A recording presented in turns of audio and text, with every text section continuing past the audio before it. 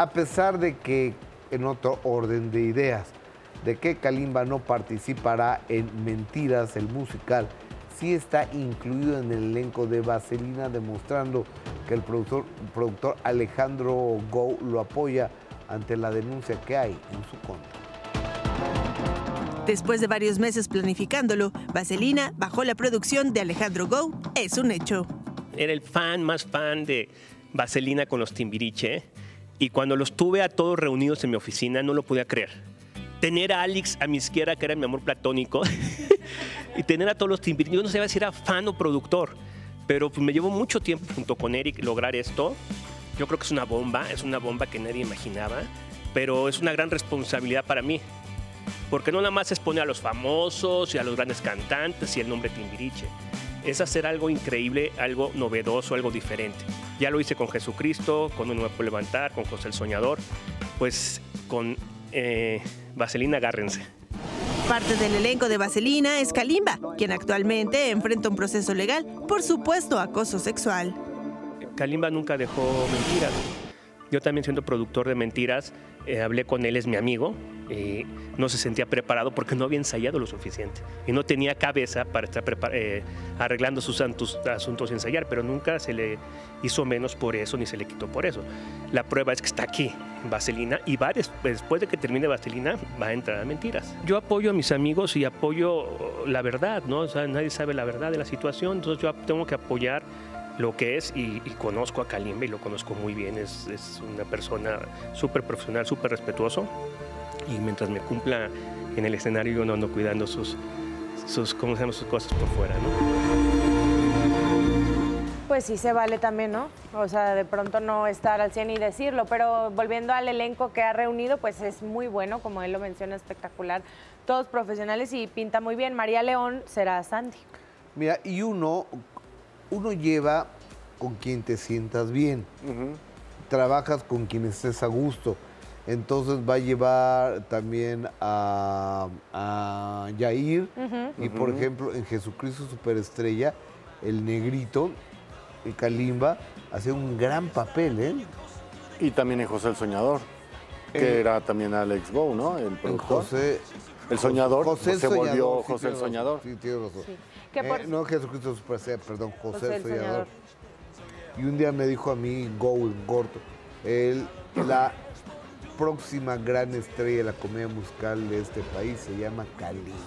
Y es que Kalimba estaba con mucho trabajo y además aprendiéndose en muy poco tiempo eh, los guiones, ensayando, yendo a, a las tablas, al escenario y regresando y dijo, no puedo, o sea, no me puedo aprender todo lo que tengo que hacer. Y Lo claro, cual es- no, ahorita no es el momento. Está bien, y ojo también, el hecho de que Alex Go eh, trabaje con él no quiere decir que esté validando o no la situación legal de Sí. Kalimba, que es otra cosa diferente, pero todos tenemos una presunción de inocencia, Go la está aplicando, sabe que es un buen trabajador, por eso es que le invita, y con esto recuerda que también se había dicho que Kalimba iba a hacer una denuncia por daño moral porque le había afectado en contratos. Evidentemente ya no entraría esta parte de mentiras, porque ya el mismo Go está diciendo, no estaba listo, sigue trabajando Exactamente, conmigo, ¿no? porque el abogado de Kalimba dijo, perdió un musical de muchos millones de pesos.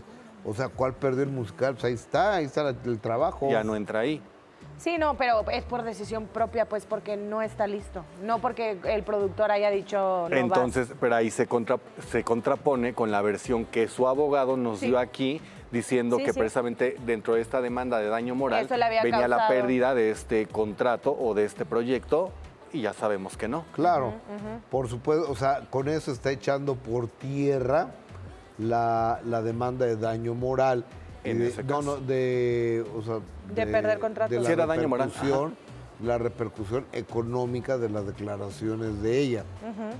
Es como Sergio Mayer, las veces que me, que me ha demandado, una vez me demanda por 10 millones de pesos, entonces él había perdido 10 millones de pesos por un, por un comercial que Que tienes que entonces manda, manda la carta de la empresa, ¿no?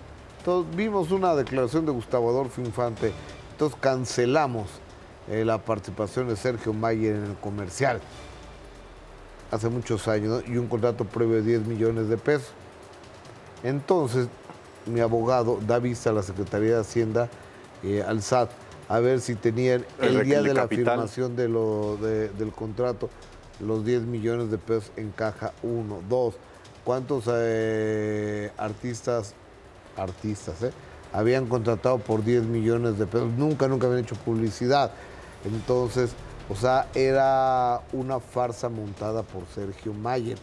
Como ahora, en la demanda que, que pone, dice que un reality, fíjate, un reality que iba a ser él, eh, dos millones y medio de dólares perdió por mi culpa.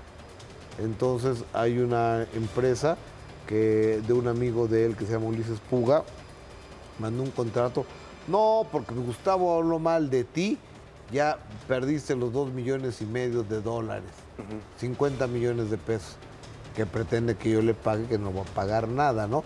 O sea, ya, so- ya basta de la ley mordaza de algunos pseudoartistas que hacen una bola de cochinas y quieren taparle la boca a los medios de comunicación a través de denuncias y de demandas.